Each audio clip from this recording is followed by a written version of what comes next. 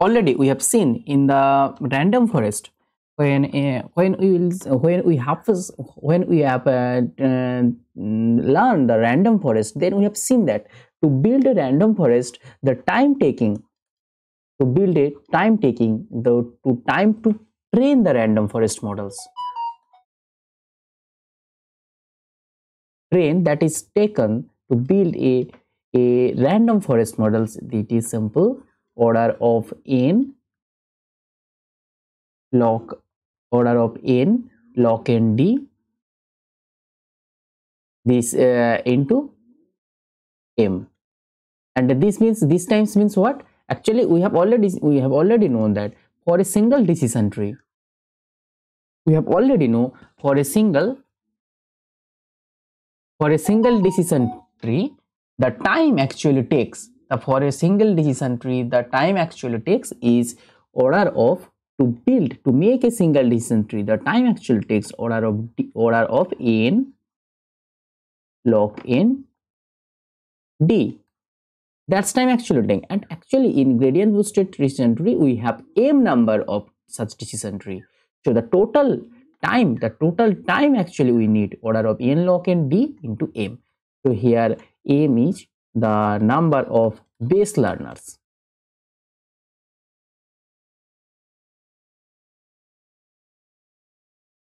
and uh, this n log n is to train a single decision tree.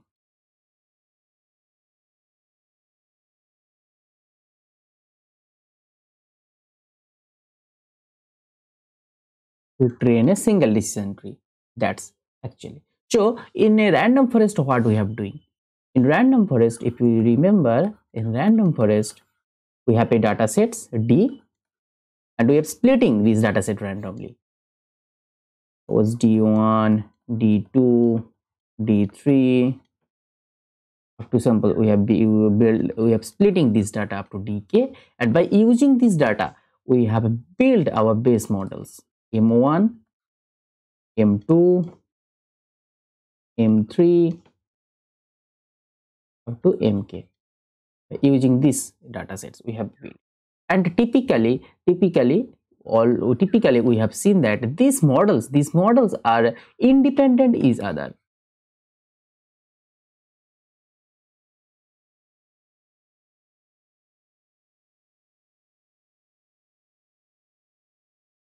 independent each other. Because of this because it is independent each other we can easily it parallelize this thing. So it is trivially trivially parallelizable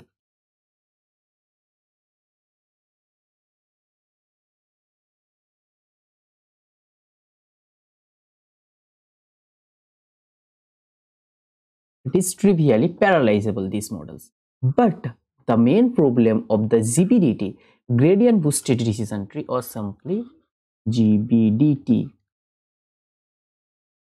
the main problem of this thing of the GBDT is it is not easy task. It is a not easy task to make it parallelizable.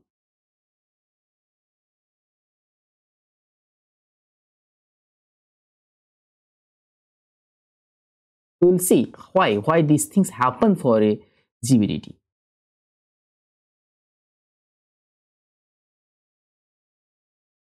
Parallelizable. So we will see these things. Now let's see how why these things actually in GBDT why these things actually not a easy task to make it parallelizable. So so in GBDT in GB what we are doing in GBDT we have built the GBDT at initial stage at initial stage i am calling as stage 0 that is initial stage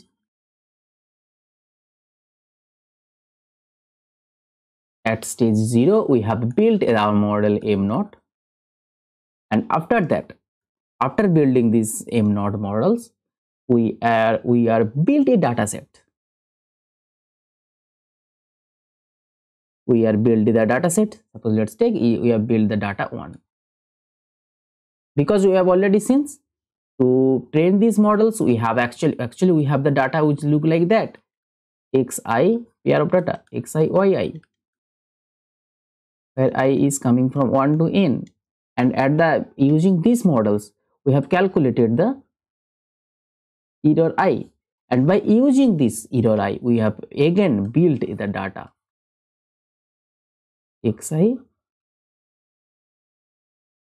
error i. I is equals to 1 to n. And by using this data we have built at stage 1 at stage 1 we have built the model m1 okay and uh, again by using these models we have calculated the error i we have predicted this error i and sample the uh, using this error i we have again building our data set 2 and using this data set 2 again we have at stage 2 we have built our model 2 we have model build our model 2 and similarly in these models we have also predict the error. And uh, again we have built the data set data 3 the same things the same repetitions are doing up to stage m. To stage and in this stage uh, up to stage up to stage m okay i'm taking the base learners m okay don't be confusion model m and n. So m of i'm taking here number of base learners.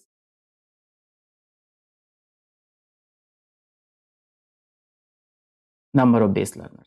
Here m this m means number of base learners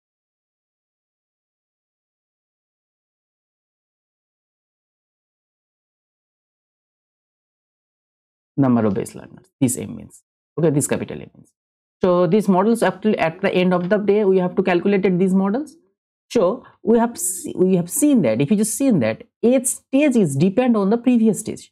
Because at the initial stage we have calculated the data one and on the using this data one we have built this m1 and by m1 models by in at the m1 with the help of m1 we have built the data 2 and using this data 2 we have built the model too. similarly for m of m of m m of at the end of the day we have to build the model. That models is built. The data set that will helps to build the end models that come from the previous stage. So it is not an easy task. Because of this it is not an easy task to build this gbdt parallelizable. Okay? So because of these reasons because of these reasons G B D T एक more time to train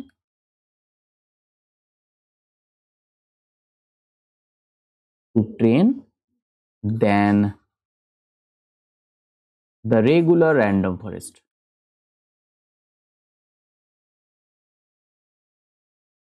Than the regular random forest. Because of these things and uh, because of these things is not it is not an easy task.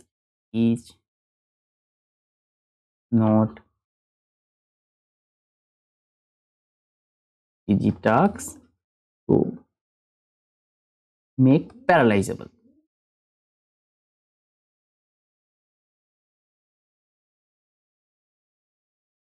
to make it parallelizable okay because of these reasons it is not an easy task and now the now the uh, now the thing is that how much how how much the runtime complexity of a gbdt so now the what is the runtime complexity for the GBDT?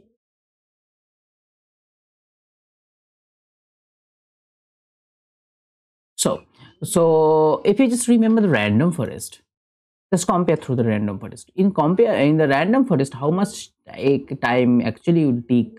Uh, how much time actually it is need to run a random forest model? We have already seen this runtime each simple order of depth of the decision tree into number of base learners okay number of base learners and and the, the, the and the thing is in and already we have seen in gbdt the depth is small than the random forest. In gbdt this depth in gbdt this depth this depth is smaller than regular random forest. Okay? So if it is smaller then uh, then from random forest the runtime is obviously obviously runtime complexity is smaller than the regular random forest so so because this thing because of this thing it is smaller because it is small in gradient boosted it takes less time. It's take less time than regular random forest okay and mm, mainly mainly these GBDT are mainly used in to build a low latency model low latency and high accuracy. Okay? So mainly in, in the internet company. Mainly in internet company they have a, a, large amount of data huge amount of petabyte amount of data. So and uh, they are also interested to build a low latency model. On that on that situations GBDT is very very useful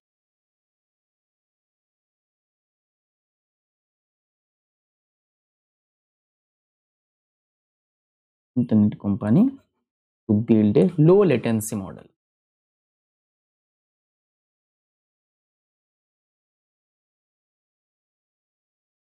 It is very very useful. by simple doing the uh, by simple the another important thing is here we are easily minimizing the any kind of loss function any kind of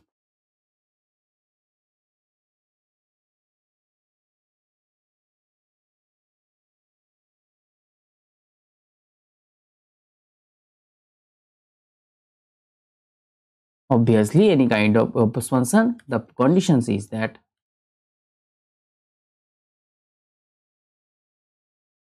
it must be differentiable.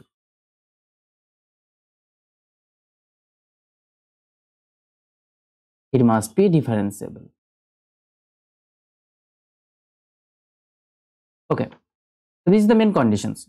So this is the main advantage uh, for build a low latency models and uh, by simply instead of using regular uh, random forest if we using the gradient boosted decision tree the runtime complexity will be so smaller. Because the um, the decision tree depth of the decision tree is smaller than the regular um, uh, random forest decision tree. Okay? Because of these reasons. Now coming to the space complexity. What is the space complexity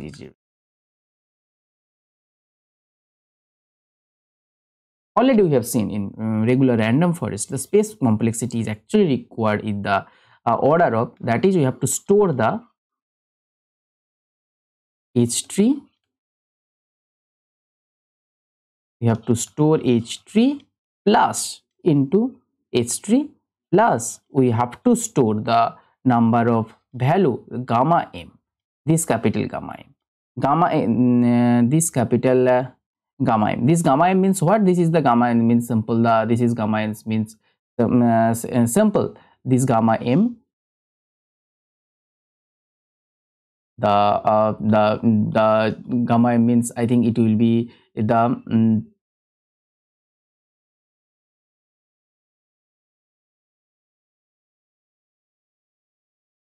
So this gamma m is simple. This gamma is simple, nothing. This is the coefficient of our base learners. So we have to store the age decision tree, age decision tree as well as we have to store the age age coefficient of this age decision tree. So simple this gamma m simple the coefficient of